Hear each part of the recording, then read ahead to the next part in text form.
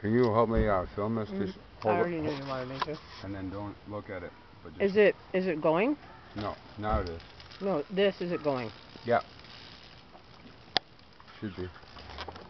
Yeah, whatever is going or not. You see that white light that was going for a second? That was a carbon arc lamp between two pieces of carbon, basically closing the circuit in 120 volt. You're not supposed to look at it. But that can get up to um, 20,000 degrees if you contain it inside of a crucible. Right now we're using a um, 100, uh, 1050 watt toaster and oven as a ballast resistor. And that's incredible bright. The heat that's coming off there is intense. Glove's starting to get hot. Neat, eh?